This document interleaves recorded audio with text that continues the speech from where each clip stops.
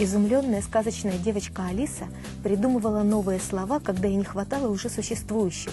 Так и мы, путешествуя по волшебной текстильной стране, будем создавать новые текстильные приемы, следовать за белым кроликом со своим текстильным веером, решать на ходу текстильные головоломки и бегать по своему текстильному кругу. В результате вы станете обладателем оригинальных сумок, подушек, украшений. Но, конечно, в том случае, если присоединитесь к нам. А проводником сегодня будет Татьяна Лазарева.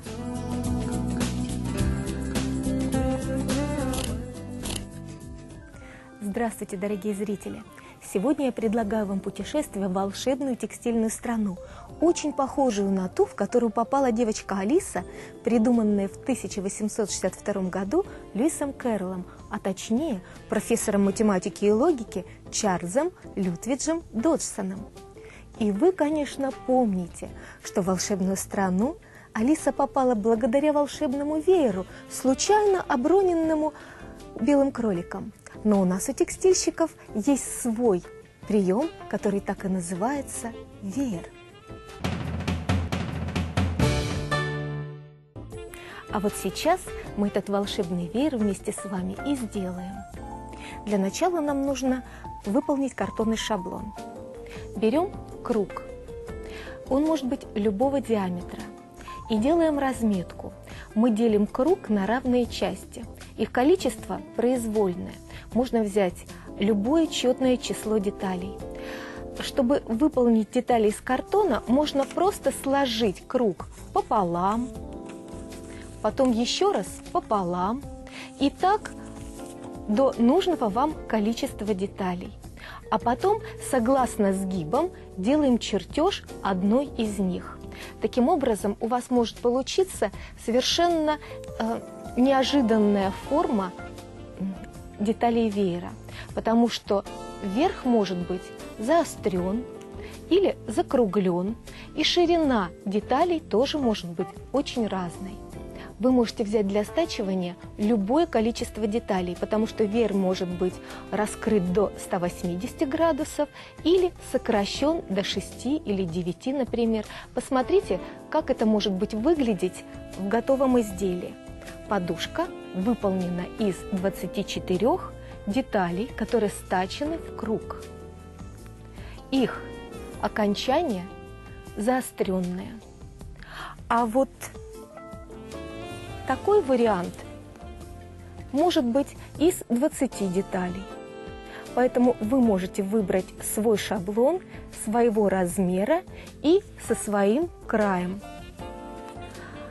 вот эта сумка, которую мы сейчас будем делать, может быть с э, деталями более узкими, и, естественно, их количество будет увеличено. Если сложить ее пополам, у вас получится очаровательный веер, которому бы позавидовал белый кролик.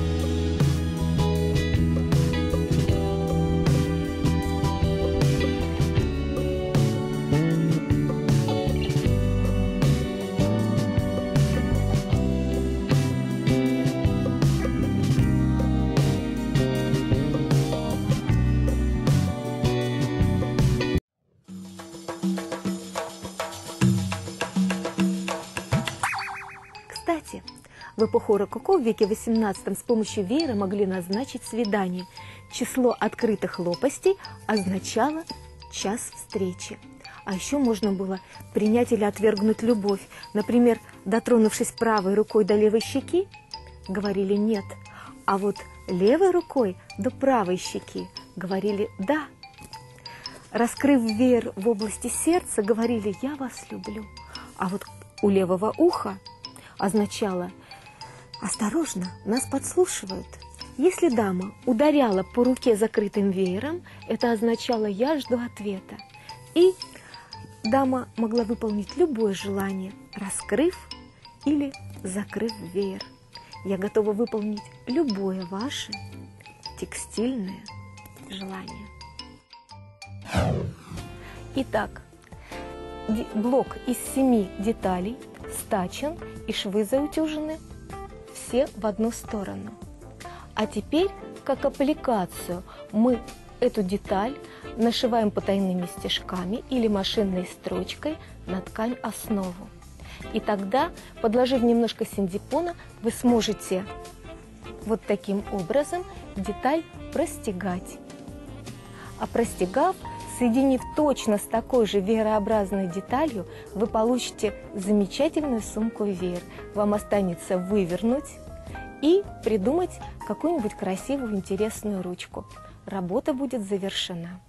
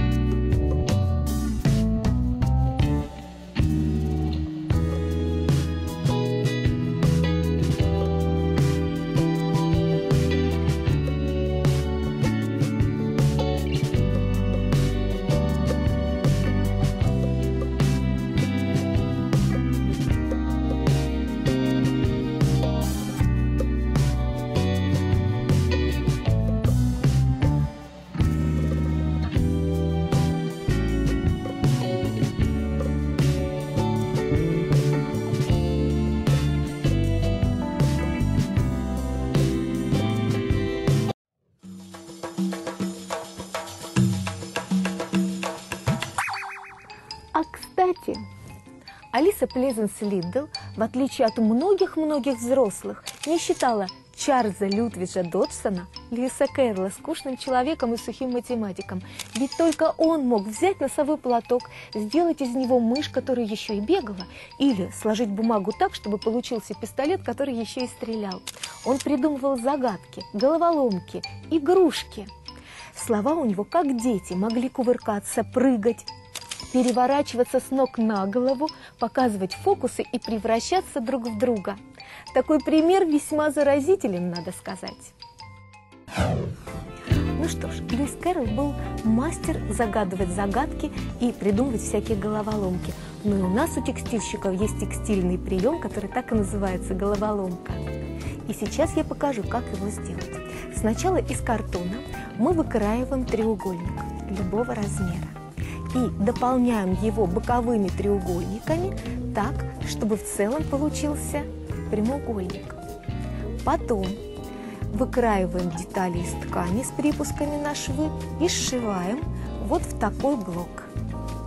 Вы видите, что он состоит из этих же деталей.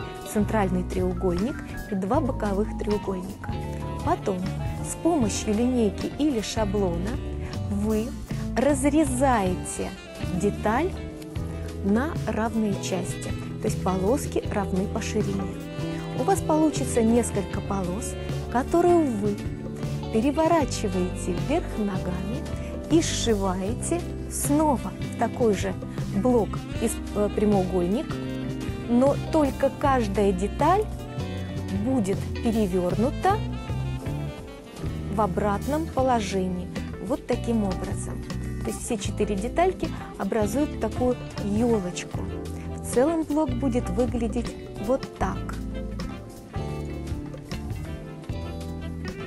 Это замечательный прием, который дает возможность экспериментировать с простейшей технологической конструкцией. Я уверена, что у вас будет огромное поле для экспериментов.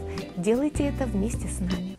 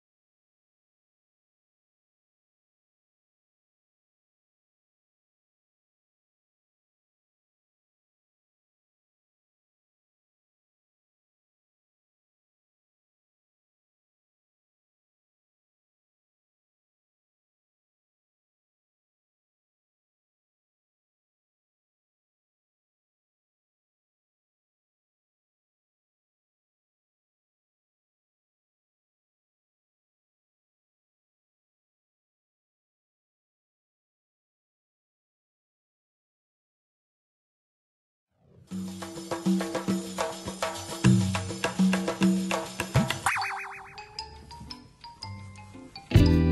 кстати, англичанин Викторианец шел по свету в солнечном сиянии, в неизменном цилиндре с солидными бакенбардами, с деловым портфелем и практичным зонтиком.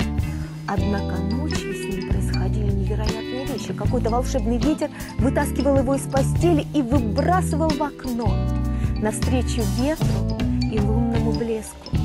И его цилиндр плыл над крышами и трубами домов.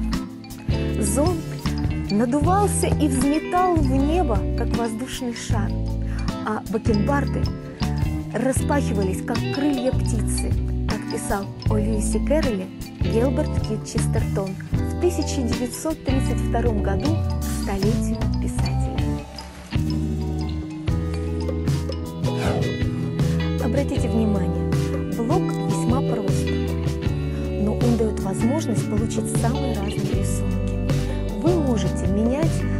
цвет центрального треугольника и фона. Вы можете переворачивать эту головоломку вверх ногами. Вы можете соединять их в длинное полотно, и у вас получится совершенно иной рисунок.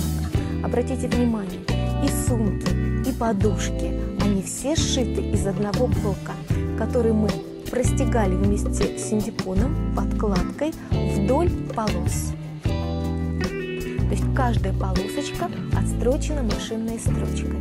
А потом вы выбираете вид текстильного изделия и оформляете интерьер или делаете себе новую сумку. Экспериментируйте вместе с нами.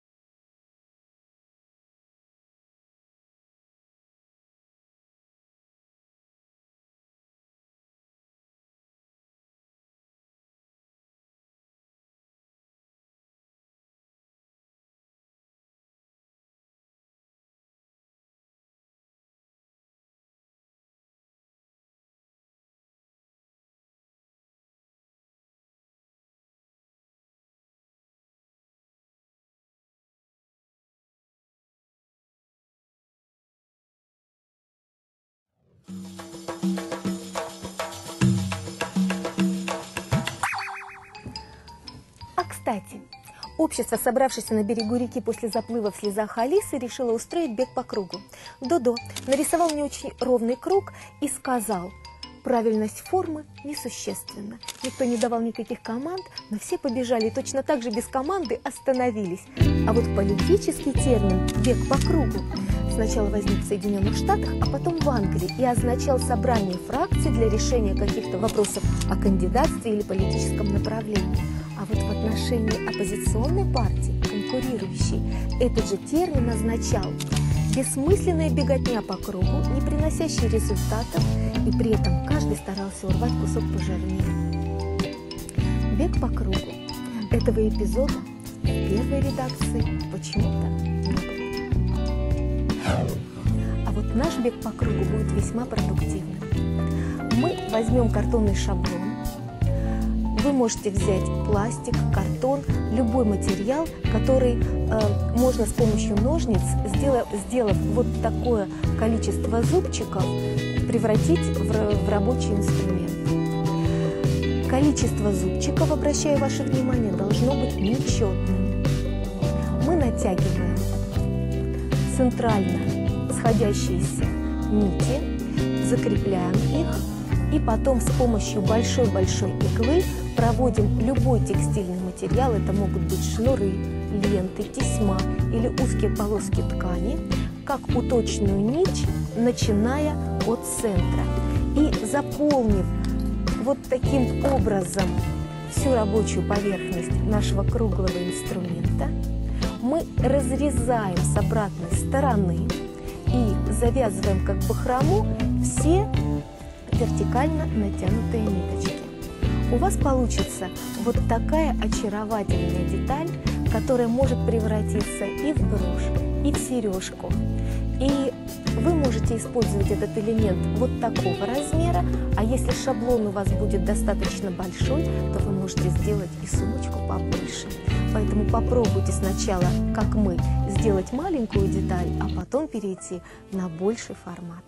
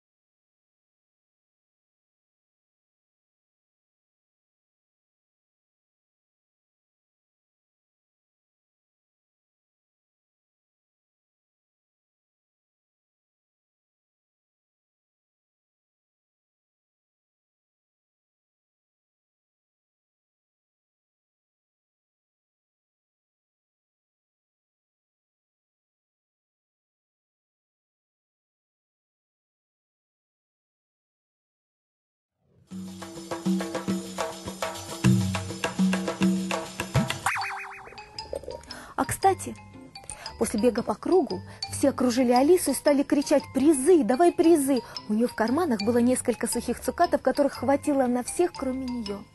«Но ты тоже заслуживаешь подарка», — сказал Додо. У нее в кармане был только наперсток, который Додо торжественно ей вручил и сказал, «Сударыня, позвольте от имени всех вручить вам этот замечательный наперсток, почетный приз». Все закричали и захлопали в ладоши, и я тоже бы закричала и захлопала в ладоши, ведь наперсток у маленькой девочки, гуляющей по берегу реки, это настоящее чудо. Наш мастер-класс завершен. Маленькая девочка Алиса придумала замечательное правило. От горчицы огорчаются, от лука лукавят, от вины винятся, а вот от сдобы добреют – как жаль, что люди не знают такого простого правила. Ели бы сдобу и добрели.